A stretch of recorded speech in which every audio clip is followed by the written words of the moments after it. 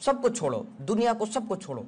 हमारे असहाबा कराम, हज़रत उमर फारूक रज़ी तला ने किस यूनिवर्सिटी से डिग्री ली थी? ठीक बात है।